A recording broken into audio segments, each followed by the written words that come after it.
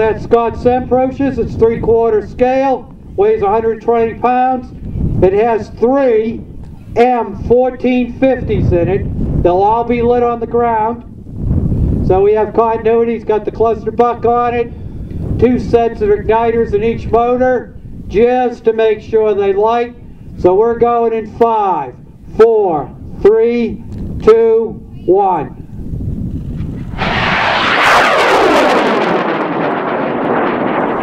Like they all lit. Very nice, Scott.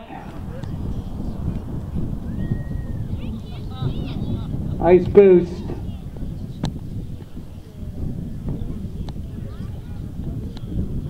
Arcing over, apart. There's backup charge. We'll keep an eye on this, this big rocket.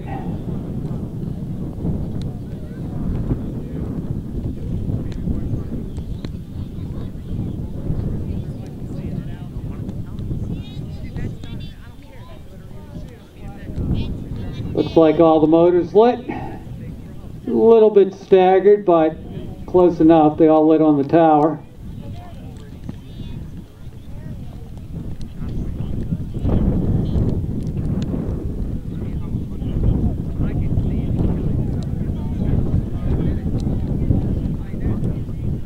He's way out to the left there, right above those scraggly trees that are in the middle of nowhere.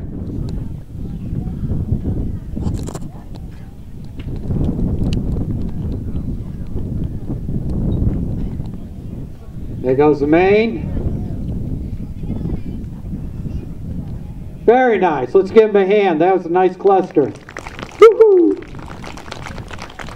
All right, Meredith Campbell has uh, Tears. Uh, this is a uh, 55 pound rocket flying on a CTI M6400. this is going to scoot.